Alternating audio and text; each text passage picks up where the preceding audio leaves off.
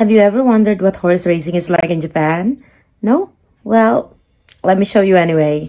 So last weekend, my boyfriend's coworker, his senior at work, invited us to Sunday lunch and to also check out this newly opened horse racing track in our prefecture.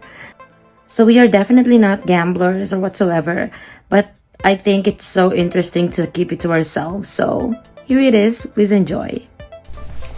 This horse racing park is located in Kanazawa City, but you can also watch and bet on races here, broadcasted live from different locations in Japan. First of all, look at the size of this place. I didn't expect this to be this big.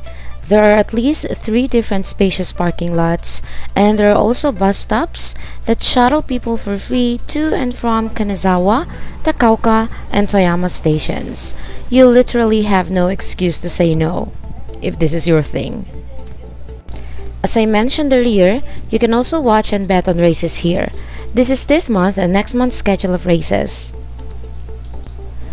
This is the main building where you can watch races, get tickets, bet on horses, claim your prize, and even eat. Yes, there are food and drink stations inside this building. There's also a restaurant that serves traditional Japanese foods like ramen, soba, udon, tonkatsu, and so much more. And this is one of the many vending machines in this building.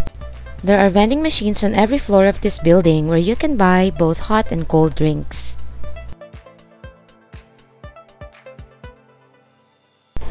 The main building has washrooms on every floor that are very clean and modern. And look, this one even has a bidet. TV screens display previous races results, stats of the horses for each race, the most popular horses, and what I call the horse fashion shows. This is the general sitting area inside the building. Since this is indoors, you can comfortably watch races even if you forgot to apply sunscreen.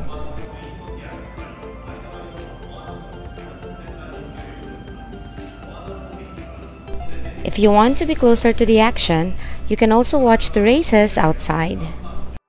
They painted these on the ground, but I didn't really see anyone using them.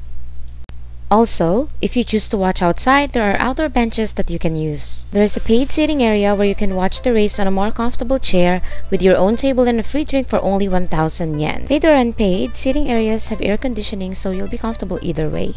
The park is implementing COVID-19 protocols, not allowing people to sit next to each other, and also there are hand sanitizing stations everywhere.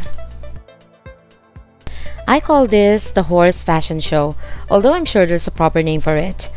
Before each race, the competing horses walk around in a small track to show off their beauty, energy, and I guess overall vibes. Spectators watch this show carefully, taking notes, making sure that they're betting on the right horse. You might have noticed some people are holding sheets of paper while watching the fashion show. This guide is about the competing horses, which includes their winning history, gained or lost weight, and everything expert bettors could possibly need to know.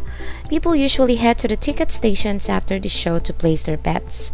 Everything here is machine operated, and you can find tickets like this everywhere in the building.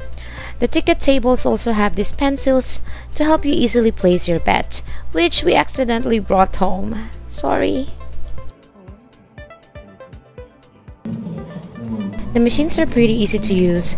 You just need to put in your money and the cards where you placed your bet.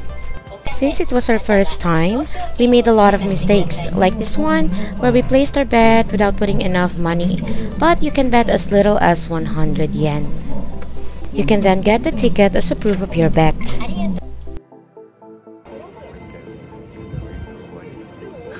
This is a signal that the race is about to begin.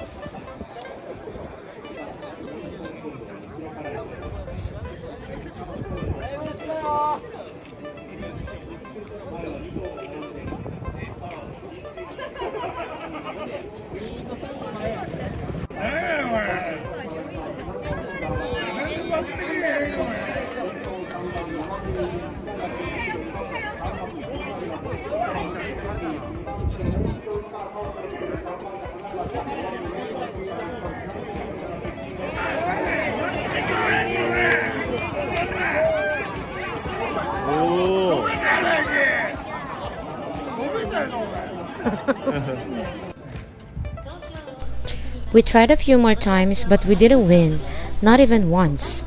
I believe that was a sign that gambling is not for us, which I guess is a good thing after all. Oh,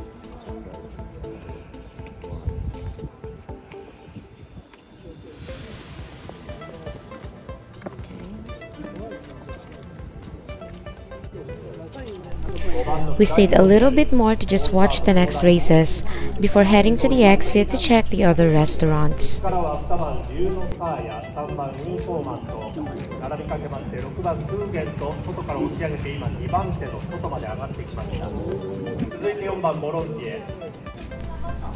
Outside on the other side of the building, there are other restaurants and food stalls that people can enjoy. We decided to order takeout at a yakisoba and takoyaki restaurant.